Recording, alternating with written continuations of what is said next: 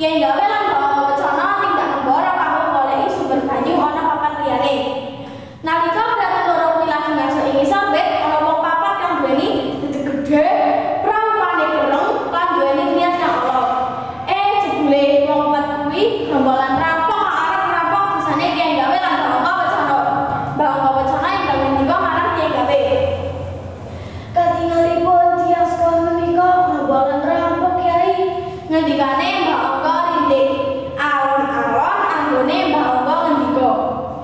iya iki. Awak dhewe kudu bisa nyuda pembolan rapat kuwi maksudane kene gawe.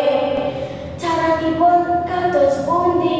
Pitakone mbok apa cara saiki ayo dibarengi wae ngomong kuwi. Banjur dibarengi ngerti desa mah arep dituju kuwi ora ana mung arep curang medeni kahanan maksudane kene gawe.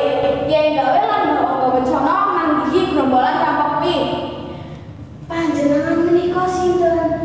nosso irmão.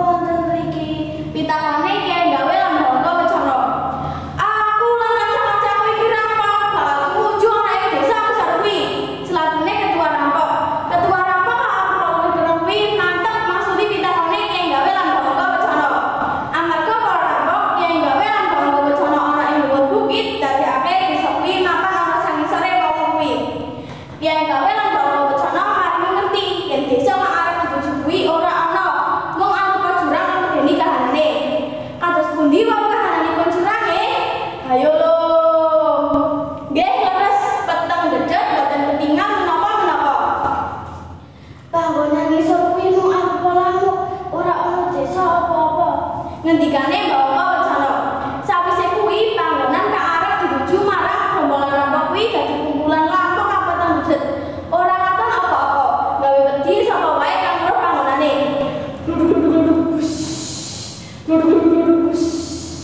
Kadadian kuwi amarga ilmu sakti kang dijuweni yen gawe lan Bapak wacana supaya